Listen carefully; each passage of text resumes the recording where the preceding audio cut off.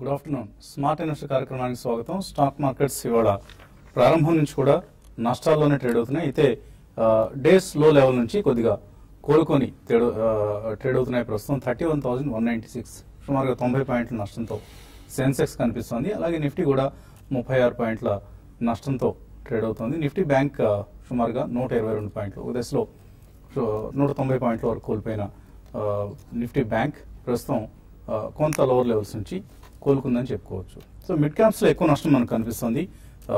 Mid క్యాప్స్లో breadth చాలా నెగిటివ్గా ఉంది. ఫైవ్ ఇస్ టు ఎయిటీన్ అంటే almost one is to four నిష్పత్తిలో అడ్వాన్స్ డిక్లైన్స్ రేషియో కనిపిస్తుంది. సో ఎస్పెషల్లీ ఫస్ట్ హాఫ్ అంతా కూడా బాగా నష్టాలతో ట్రేడ్ అయ్యి ఇప్పుడు కొంచెం లోస్ నుంచి తేరుకొని ట్రేడ్ అయ్యే ప్రయత్నం చేస్తున్నాయి. లైక్ రిలయన్స్ క్యాపిటల్ లాంటి స్టాక్లో మనం ఓ దశలో నష్టాలు ఉంది ఇప్పుడు త్రీ పర్సెంట్ లాభంలోకి వచ్చింది. అలాగే ఆల్ అనిల్ ధీరుభాయ్ అంబానీ గ్రూప్కి చెందిన stocks. Reliance Communications two point two four percent పెరిగింది.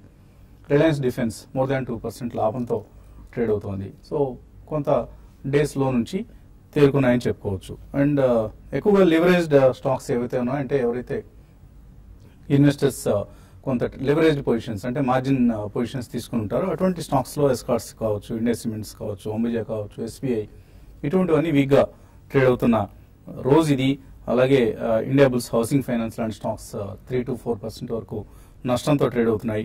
అండ్ ప్రధానంగా real real estate PSU banks and metals auto stocks. ఇవి నష్టాలను లీడ్ చేస్తున్నాయి. Delta Corp almost four percent నష్టపోయింది. అలాగే ఫోర్టీస్ హెల్త్ కేర్ ఇవాళ చాలా నష్టాలతో ట్రేడ్ అవుతుంది ఫోర్టీస్ హెల్త్ కేర్ సంబంధించి. ఐహెచ్హెచ్ అంటే మలేషియన్ కంపెనీతో ఏదైతే డీల్ ఉందో ఆ డీల్ ఇక జరిగే అవకాశం లేదు రెండు కంపెనీల మధ్య. చర్చలు నిలిచిపోయాయి ఆగిపోయాయి. ఐహెచ్హెచ్ ఈ డీల్ని ముందుకు తీసుకెళ్ళే ఉద్దేశంతో లేదు అన్న వార్తలతో ఫోర్టీస్ హెల్త్ కేర్లో ఆల్మోస్ట్ టెన్ పర్సెంట్ నష్టం ప్రస్తుతం మనం చూస్తున్నాం. అలాగే Videocon Industries of course it's a deep in trouble stock అది.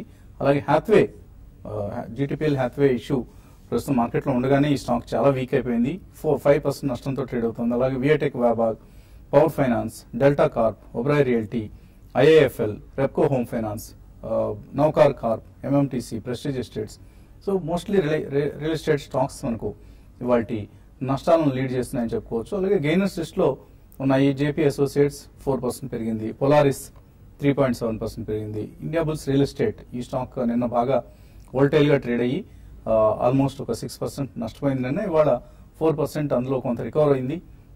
One ninety eight one ninety nine సమీపంలో ట్రేడ్ అవుతుంది. Reliance Capital GMR infra Mindtree Reliance infra RCom Reliance Defence Power Grid Indian Hotels Jubilant Foods well Corp Vedanta ఇటువంటి stocks కొంత లాభాలతో trade అయ్యే ప్రయత్నం చేస్తుంది. ఓవరాల్గా ఒక rough day for markets real estate housing finance companies సంబంధించిన స్టాక్స్లో మనం ఎక్కువగా సెల్లింగ్ చూస్తున్నాం. అయితే దీనికి భిన్నంగా ఐటీ ఫార్మాలో కొంత బయింగ్ చూస్తున్నాం. ఎప్కా లాబొరేటరీస్ లాంటి స్టాక్స్ ఫార్మాలో. అలాగే ఐటీలో కొన్ని స్టాక్స్. ఇలాగా డిఫెన్సివ్ స్టాక్స్గా ఐటీ అండ్ ఫార్మా కొంతవరకు ఇక్కడ యాక్ట్ చేస్తున్నాయని చెప్పుకోవచ్చు. ఆల్ ఇన్ ఆల్ ఒక లాంగ్ వీకెండ్ మన ముందుంది సాటర్డే సండే మండే మూడు రోజులు వరుసగా మార్కెట్స్ హాలిడే కాబట్టి ట్రేడర్స్ ఎవరు కూడా పొజిషన్స్ క్యారీ చేయడానికి ఇష్టపడలేదు అండ్ స్టాక్ స్పెసిఫిక్గా కొద్దిగా అక్కడక్కడ చిన్న చిన్న మూవ్స్ మినహాయిస్తే అదర్వైజ్ మార్కెట్స్ వీక్గా ఉన్నాయి. ఈ వీక్నెస్ ఆద్యంతము ఇవాటి ట్రేడింగ్ ఆఖరి వరకు కూడా కొనసాగుతుందని మనం అనుకోవచ్చు. మార్కెట్స్ పరిస్థితి గురించి మాట్లాడేందుకు అనలిస్ట్ సిద్ధంగా ఉన్నారు. సో లాంగ్ వీకెండ్ రాబోతోంది. సో ఏం చేయబోతున్నారు మూడు రోజులు? ప్లాన్స్ ఏం లేదండి. బహుశా మార్కెట్ రీసెర్చ్ సంబంధించింది ఫర్దర్ అప్డేట్ చేసుకుంటూ వెళ్తాం తప్ప ఇంకా ఇమీడియట్ అజెండా ఏం సో లేదనిపిస్తుంది మూడు రోజులు మీరు మళ్ళీ మార్కెట్లోనే మునిగి వెళ్తా ఉంటున్నారు? Might be mostly okay so markets పరిస్థితి ఏంటి? మంగళవారం ట్రేడర్స్ ఒకవేళ ఏదైనా పొజిషన్స్ క్యారీ చేసుకోవచ్చా మంగళవారానికి? లేదా ఎందుకు వచ్చిన రిస్క్ ఇవాళకి ఇవాళ స్లేట్ ఖాళీ చేసేసి ఇంటికి వెళ్ళటం మంచిదా. షార్ట్ టర్మ్ పాయింట్ ఆఫ్ వ్యూలో మటుకు మార్కెట్ కొంచెం వీక్నెస్ ఎగ్జిబిట్ చేస్తోంది. లాస్ట్ వీక్ మనం చూసాము మార్కెట్ వీక్లీ చార్ట్లో ట్రెండ్ రివర్సల్ కనిపించింది. స్లైట్గా వీక్ బయాస్ కనిపించింది. ఈ వారం కూడా చూస్తే కనుక మార్కెట్ వీక్ ధోరణిలోనే క్లోజ్ అయ్యే అవకాశాలు కూడా ఎక్కువ కనిపిస్తోంది.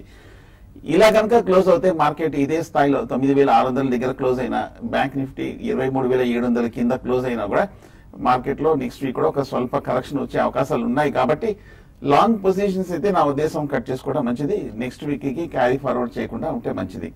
పైగా మనకి ఒకసారి షార్ట్ పొజిషన్స్ కొంచెం స్లైట్గా స్టాప్ లాస్లు పెట్టి హోల్డ్ చేయొచ్చు. ఎందుకంటే బ్యాంక్ స్టాక్ చూస్తే కనుక పిఎస్సి బ్యాంక్స్ షార్ట్ టర్మ్ ఒక స్లైట్గా డౌన్ సైడ్ కట్ అయినట్టు కనిపిస్తుంది. సపోర్ట్ బ్రీచ్ అయ్యి ఒక టెక్నికల్ డౌన్ సైడ్ బ్రేక్అవుట్ వస్తుంది కాబట్టి bank of Baroda bank of India Canara bank ఇటువంటి స్టాక్స్లో ఒక స్వల్ప రియాక్షన్ వచ్చే అవకాశాలు కనిపిస్తుంది. సో వీటిల్లోనే ఒక షార్ట్ పొజిషన్ స్టాప్ లాస్ పెట్టి హోల్డ్ చేయొచ్చు. అలాగే మనకి ఓవరాల్గా మనకి హౌసింగ్ ఫైనాన్స్ ఈ మధ్య మనకి లాస్ట్ రెండు మూడు వారాలుగా చూస్తే కనుక మార్కెట్ కరెక్షన్ కన్సాలిడేషన్లో హౌసింగ్ ఫైనాన్స్ కంపెనీస్ చాలా స్ట్రాంగ్ స్ట్రెంగ్త్ ఎగ్జిబిట్ చేశాయి కాబట్టి వీటిల్లో ఈ కరెక్షన్లో ఇంకొక బయింగ్ ఆపర్చునిటీ వస్తుంది. ఇంకా స్ట్రాంగ్ అవుట్లుక్ ఉంది కాబట్టి వీటిల్లో లాంగ్ పొజిషన్స్ అటెంప్ట్ చేయొచ్చు. అలాగే ఆయిల్ ఎక్స్ప్లోరేషన్ కంపెనీస్ ఈ మధ్య రెండు మూడు companies ONGC GAIL Deep Industries ఇవన్నీ కూడా లాస్ట్ వన్ ఆర్ టూ వీక్స్గా స్ట్రాంగ్ రియాక్షన్ వచ్చాయి కాబట్టి క్రూడ్ కూడా ఈ లెవెల్లో స్థిరపడుతుంది కాబట్టి ఆయిల్ ఎక్స్ప్లోరేషన్ కంపెనీస్ని ఈ వారంలో కరెక్షన్లో బై చేయొచ్చు. So on the whole market weakness సూచిస్తుంది. ఒకవేళ ఏదో క్లోజింగ్ సమయానికి eight six nine six two zero పైన కనుక క్లోజ్ అవుతే అప్పుడు కొంచెం పాజిటివ్గా ఉంటుంది. బట్ ఆన్ ద హోల్ వచ్చే వారం కూడా మార్కెట్ ఒక స్వల్ప కరెక్షన్లోకి వెళ్ళే అవకాశాలు కనిపిస్తోంది. సో మిడ్ క్యాప్స్ మనకి ఎక్కువగా నష్టాలు కనిపిస్తున్నాయి కూడా మిడ్ అండ్ స్మాల్ క్యాప్స్లో. సో uh, ఏమైనా ట్రేడింగ్కి అనుకూలంగా కనిపిస్తున్నాయి ఐదర్ సైడ్ అంటే మిడ్ క్యాప్లో నష్టాలు మార్కెట్ చాలా రికవరీ ఒక thirty points Nifty future recovery అయింది. అయితే మిడ్ క్యాప్ దానికి అనుగుణంగా రికవరీ అనేది ప్రాసెస్లో రికవరీ రాలేదు. ఆ మెయిన్ కారణం చెప్పాలంటే ల్యాక్ ఆఫ్ సెల్లింగ్ కన్నా ల్యాక్ ఆఫ్ ఫ్రెష్ బయింగ్ అనేది మనకి మార్కెట్లో కనపడుతుంది. ఎందుకంటే లాంగ్ పొజిషన్స్ మనకి మూడు రోజులు హాలిడే ఉంది కాబట్టి క్యారీ చేయడం అంతా ట్రేడర్స్ కానీ అటు రీటైల్స్ రీటైల్ ఇన్వెస్టర్స్ కూడా పెద్దగా ఇంట్రెస్ట్ చూపారు. దాని కారణంగా ఏంటంటే ల్యాక్ ఆఫ్ బయింగ్ అని చెప్పొచ్చు.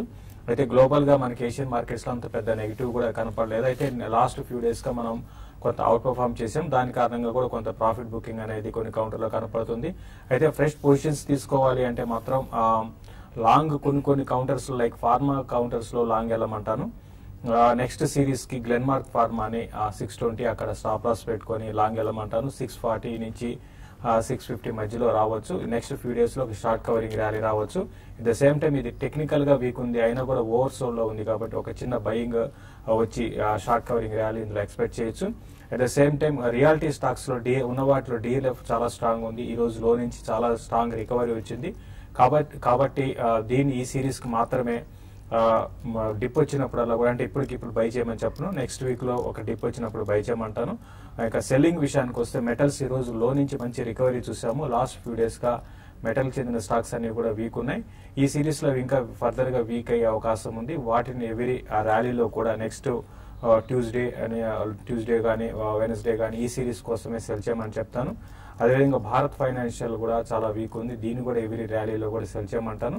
రిలయన్స్ ఇండస్ట్రీస్ విషయానికి వస్తే కంటిన్యూగా మనకి చూసాం సెవెన్ ట్రేడింగ్ సెషన్స్లో లాభాల్లో ఉంది. ఇది మాత్రం కొంచెం ఈ లెవెల్లో ఆగొచ్చు ఒక డిప్ రావచ్చు. ఆ డిప్ కోసం రిస్కీ ట్రేడర్స్ ఎవరైనా ఉంటే ఒక ten to fifteen points Tuesday కానీ వెన్స్డే కానీ డిప్ రావచ్చు. Thousand forty four forty six దగ్గర స్టాప్ లాస్ పెట్టుకొని దీన్ని సెల్ చేయమంటాను. ఓవరాల్గా మిడ్ క్యాప్లో ఇప్పుడే ఇమీడియట్గా మనకి యాక్షన్ ఉండకపోవచ్చు. నెక్స్ట్ వీక్ అంతా కూడా F and trend F and closing ఉంది కాబట్టి దానికి అనుగుణంగా మూవ్స్ ఉంటాయి. మిడ్ క్యాప్లో మాత్రం కొంచెం టైం పడుతుంది ఇంతకు ముందు లాగా యాక్షన్ రావాలంటే.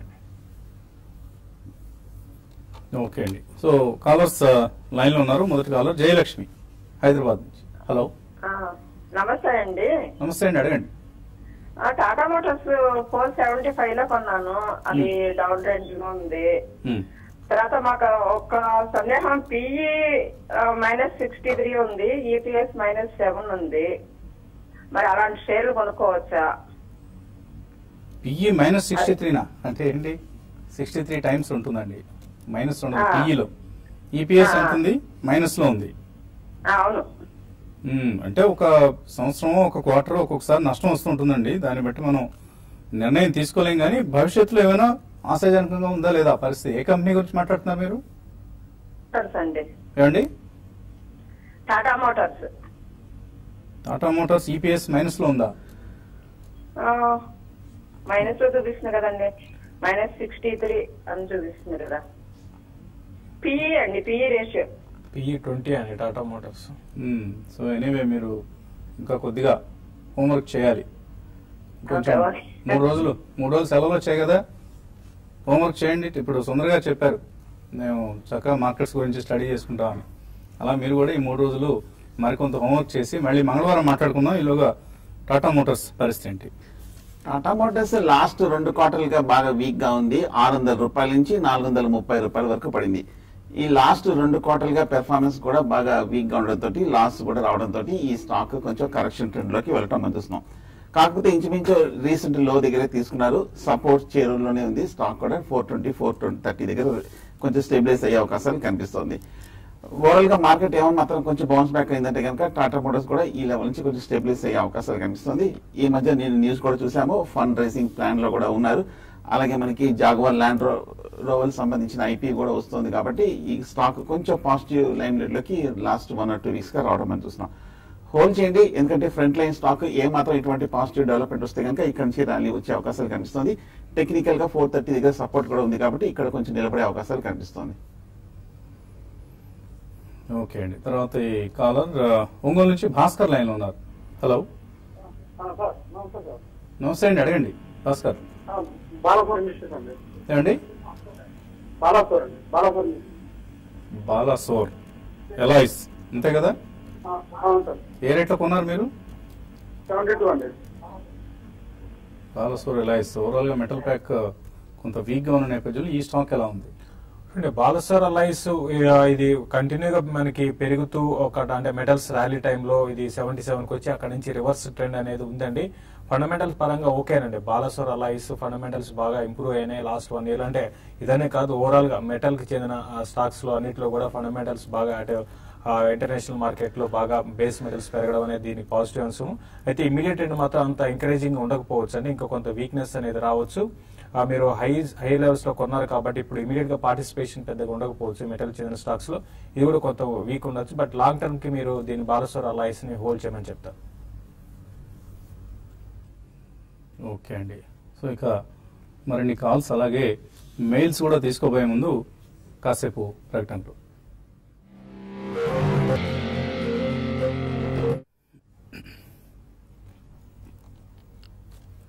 స్మార్ట్ ఇన్వెస్టర్ కార్యక్రమానికి తిరిగి స్వాగతం. సుమారుగా నలభై మూడు పాయింట్ల నష్టంతో నిఫ్టీ అలాగే నూట యాభై పాయింట్ల నష్టంతో నిఫ్టీ బ్యాంక్ ట్రేడ్ అవుతున్న సమయం ఇది. మార్కెట్స్లో వీకెండ్ సెల్లింగ్ కొనసాగుతోంది. తర్వాతి కాలర్ లైన్లో ఉన్నారు రామిరెడ్డి. హలో. సార్ నమస్తే సార్. నమస్తే అండి అడగండి. రామ్కి ఇన్ఫ్రా నూట పదిహేనులో థౌసండ్ తీసుకున్నామండి. పెన్నార్ ఇండస్ట్రీస్ యాభై ఆరులో థౌసండ్ తీసుకున్నాం ఫర్ లాంగ్ టర్మ్. తగ్గిపోయినాయి లాంగ్ టర్మ్ కోసం Ramky infra and Pennar industries కొన్నారు. రామ్కి ఇన్ఫ్రా ఈ మధ్య ఈ లాస్ట్ సిక్స్ మంత్స్ వన్ ఇయర్గా ర్యాలీలో బాగా అప్రెండ్లో పార్టిసిపేట్ అయింది. ముప్పై రూపాయల నుంచి నూట ఇరవై రూపాయల దాకా వెళ్ళి ఈ last one or two weeks infrastructure స్టాక్స్లో కరెక్షన్తో పాటు ఈ స్టాక్ కూడా తగ్గడం మనం చూస్తున్నాం. బాగా హై ప్రైస్లో తీసుకున్నారు. ఎందుకంటే ఇరవై రూపాయల నుంచి ఒక ఐదు రెట్లు పెరిగిన తర్వాత ఓవర్ బాట్ పొజిషన్లోకి వెళ్ళటం మనం చూసాం ఈ స్టాక్ అలాగే లాస్ట్ ఒక మూడేళ్ళ క్రితం చూస్తే కనుక టూ థౌజండ్ ట్వెల్వ్ థర్టీన్లో కూడా నూట ఇరవై రూపాయల దగ్గర మేజర్ లాంగ్ టర్మ్ రెసిస్టెన్స్ ఉంది కాబట్టి ఈ సమయం ఈ లెవెల్స్ నుంచి దాటాలంటే కనుక కొంచెం సమయం కూడా పడుతుంది రామ్కి ఇన్ఫ్రా ప్రస్తుతానికి అయితే హోల్డ్ చేయండి ఎందుకంటే చాలా కాలం తర్వాత ఇప్పుడే కొంచెం ఒక స్లైట్ అప్ ట్రెండ్ కూడా రావడం మనం చూస్తాము. మొన్న రిజల్ట్స్ కూడా చూస్తే కనుక ప్రీవియస్ క్వార్టర్స్తో పోలిస్తే కనుక కొంచెం మంచి ఇంప్రూవ్మెంట్ కూడా కనిపించింది కాబట్టి ప్రస్తుతానికి హోల్డ్ చేయండి. కాకపోతే కొంచెం టైం పడుతుంది ఇక్కడ నుంచి ఈ లెవెల్ నుంచి బయటపడాలంటే. అలాగే పెన్నార్ ఇండస్ట్రీస్ కూడా చూస్తే కనుక ఈ మధ్య కాలంలో ఈ స్టాక్ కొంచెం ఒక అప్ ట్రెండ్లోకి వెళ్ళటం మనం చూస్తున్నాము. నలభై రూపాయల నుంచి అరవై రూపాయల వరకు వెళ్ళింది. కానీ లాస్ట్ ఒక వన్ ఇయర్గా చూస్తే కనుక పెన్నార్ ఇండస్ట్రీస్ అరవై రూపాయలు దాటలేకపోతుంది. లాంగ్ టర్మ్ రెసిస్టెన్స్ కూడా క్లియర్గా కనిపిస్తుంది.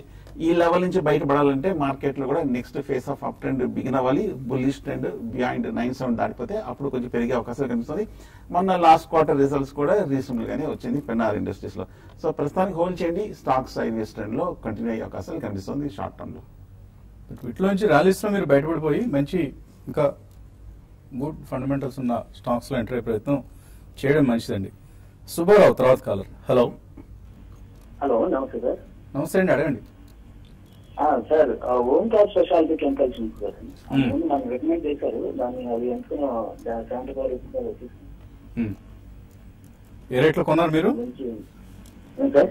కొనలేదు సార్ కొందామని చూస్తున్నాను. కొందామని చూస్తున్నారు ఓకే. సో దానిలో కొంత రీస్ట్రక్చరింగ్ అనేది జరగడం చూస్తున్నాం మనం ఓంకార్ స్పెషాలిటీలో. కొనుక్కోవచ్చా ఇక్కడ? చూడండి మీరు లాంగ్ టర్మ్ వ్యూతో మీరు కొనుక్కోవచ్చండి. కమ్- ఇప్పుడు రీస్ట్రక్చర్ తర్వాత డిమర్జ్ తర్వాత మీకు ఇప్పుడు కొంటే ఓంకార్ స్పెషాలిటీతో పాటు లాసా షేర్స్ కూడా రా- వస్తాయండి. కాబట్టి మీరు కొనుక్కోమని చెప్పి అంటే సారీ ఇంతకుముందు కొన్ని ఉంటే వస్తాయి. ప్రస్తుతం మీరు ఓంకార్ స్పెషాలిటీని మీరు చూడండి లాస్ట్ ఫ్యూ డేస్గా ఇది బాగా వోల్టాలిటీ అనేది ఈ స్టాక్లో ఉంది. ఈ వోల్టెడ్ అంటే కంటిన్యూగా పెరగడం ఫైవ్ ఫైవ్ పర్సెంట్ సీలింగ్ రీసెంట్గా చూసుకుంటే ఎయిటీ ఎయిట్కి వెళ్ళి మళ్ళీ అక్కడి నుంచి రివర్స్ అయింది. కొంచెం ఈ వోల్టాలిటీ తట్టుకొని కొన్ని రోజులు స్టేబుల్ అయినాక అప్పుడు కొనుక్కోమంటాను అది కూడా లాంగ్ టర్మ్కి అయితే కొనుక్కోండి. షార్ట్ టర్మ్ వ్యూతో మాత్రం వద్దండి. తర్వాత నూజివీడ్ నుంచి లక్ష్మి. హలో. హలో. శేషు గారిని చెప్పమనండి క్యాస్ట్రాలు ఫోర్ ట్వంటీలో ఎయిటీ ఉన్నాయండి. భారత్ ఫైనాన్స్ సెవెన్ థర్టీ ఫోర్లో ఉన్నాయి thirty. Sudarshan chemicals three sixty ఫోర్లో ఉన్నాయి ఎయిటీ. ఓకే. ఇది మళ్ళీ మనం యాడ్ చేసుకోవచ్చా లేకపోతే ఈ తీసేయాలంటారా? ఏంటి ఏం పెరగటం లేదు కనుక పెరగడం లేదని బాగా దిగులుగా ఉన్నారు ఆవిడ. కాస్ట్రాల్ భారత్ ఫైనాన్స్ భారత్ ఫైనాన్షియల్లో మీరు ఉన్న వాటిలో భారత్ ఫైనాన్షియల్ మాత్రం మీరు ర్యాలీస్లో మీరు ఎగ్జిట్ కమ్మని చెప్తారండి. ఇది రీసెంట్గా చూసుకుంటే కొంత మిగతా ఎన్బిఎఫ్సిలో స్ట్రాంగ్ ఉంది. అయినా కూడా దీంట్లో నుంచి ఎగ్జిట్ కానీ సుదర్శన్ కెమికల్స్ ఇవన్నీ ఏంటంటే లాంగ్ టర్మ్ బెట్స్ అంటే క్యాస్టార్ ఇండియా ఇవన్నీ కూడా మంచి బ్రాండ్ మీకు తెలిసిన లూబ్రికెంట్ లీడర్స్ ఇండియాలో మంచి బ్రాండ్ వాల్యూ uh, ఉంది. తర్వాత ఈవెన్ మీరు అన్నట్టుగా ఈ మధ్య కాలంలో బాగా పెరగలేదు. ఇంకోటి క్రూడ్ ఆయిల్ పడ్డం దీనికి పాజిటివ్ అంశము అయితే దీనికి కొంత టైం పడుతుందండి. ఇటువంటి స్టాక్స్ లార్జ్ క్యాప్ స్టాక్స్ పెరగాలంటే కొంచెం వన్ ఇయర్ అట్లా ఆగండి. మంచి రిటర్న్స్ క్యాస్ట్రాల్ ఇండియాలో మీరు ఎక్స్పెక్ట్ చేయొచ్చు.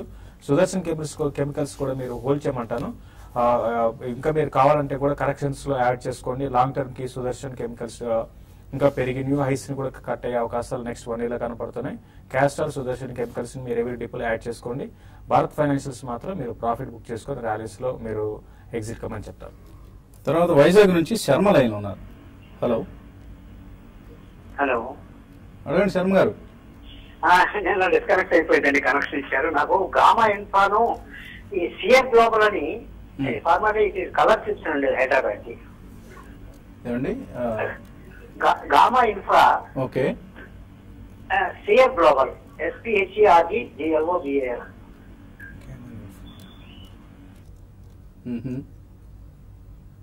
మీరు కొంచెం ఆర్ట్ స్టాక్స్ ఎక్కడో వెతికి పట్టుకున్నారు.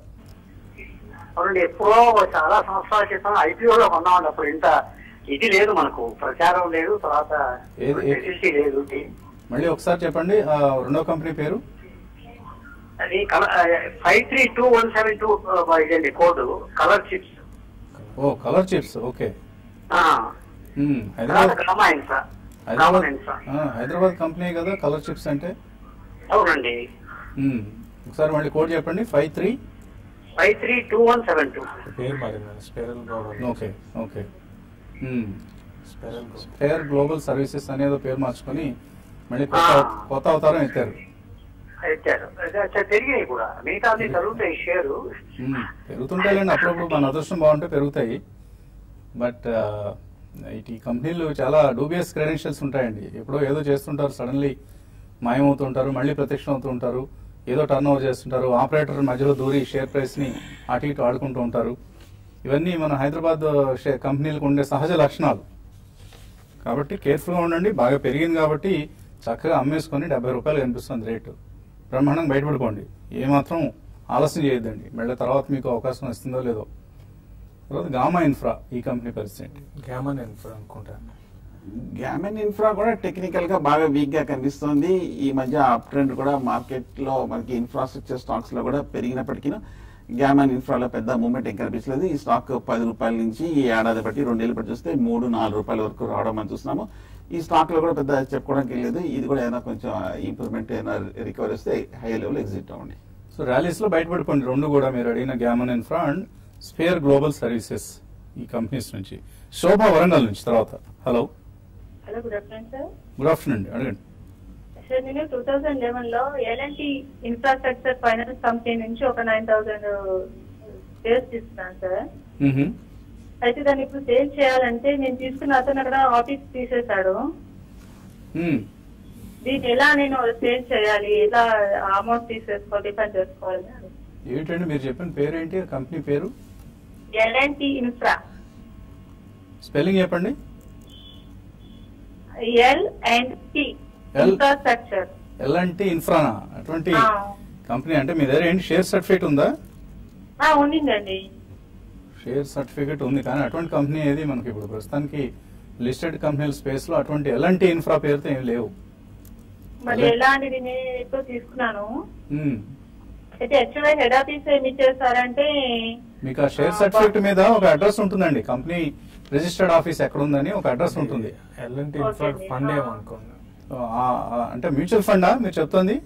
ఆ, మ్యూచువల్ ఫండ్ అయితే ఎనీ ఎనీ టైం మీరు రిజిస్టర్స్కి మీరు సబ్మిట్ చేసేసి ఫండ్ హౌస్కి సబ్మిట్ చేసేసి రిడెంప్షన్ కోరవచ్చు మీకు ఆ సర్టిఫికెట్ మీద మీకు కొంత ఒక సమాచారం ఉంటుంది. ఎక్కడ ఉంది ఈ కంపెనీ అనేది?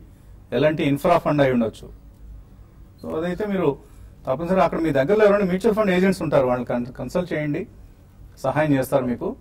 అండ్ మేబీ చాలా కాలం అయింది అంటున్నారు కాబట్టి కొంత ఎప్రిసియేషన్ కూడా వచ్చి ఉండొచ్చు మీకు. అంటే కొంత డబ్బులు కూడా పెరిగి ఉండొచ్చు మీరు పెట్టిన ఇన్వెస్ట్మెంట్ అమ్మేసుకొని రిడెంప్షన్ మొత్తాన్ని మీరు మీ ఖర్చుల కోసం వాడుకోవచ్చు తర్వాత. తర్వాత మెయిల్స్ అందాయి మనకు కొన్ని. విష్ణురెడ్డి అడుగుతున్నారు విఆర్ఎల్ లాజిస్టిక్స్ కొనుక్కోవచ్చు ఇక్కడ ఈ రేట్లో?